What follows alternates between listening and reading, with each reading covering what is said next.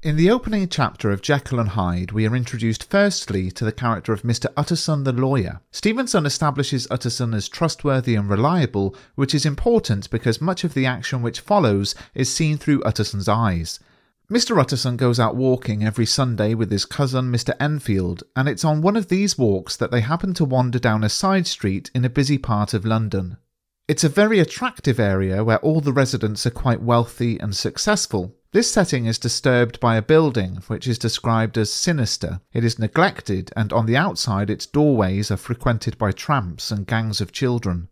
Upon seeing this building, Enfield tells Utterson about how, one night at about three in the morning, he was walking home and began to get an eerie sensation, a feeling that something was not right. All of a sudden, he saw two figures running towards each other from separate streets. One was a small man and the other a young girl. When the two met, Enfield tells Utterson, the man trampled calmly over the child's body and left her screaming on the ground. Enfield and a doctor who stopped by to help the girl both promise to ruin the man's reputation across town unless he pays £100 to the girl's family, a huge amount in those days. The man agrees and goes in through the door of the building that Enfield had pointed out to Utterson on their walk. He returns with gold and a cheque to bring the sum to £100.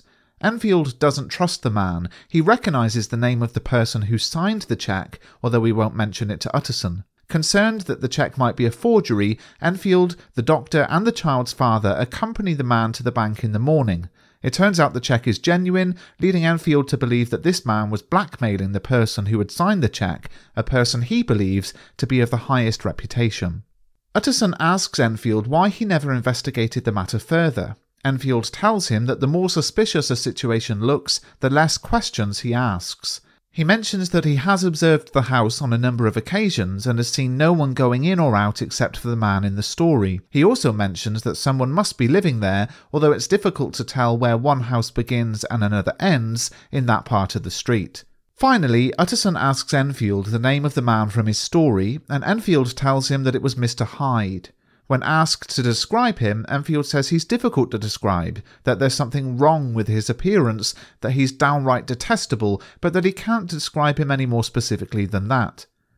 Meanwhile, Utterson has managed to figure out who signed the cheque, the one whose name Enfield didn't want to mention, the man he believes is being blackmailed.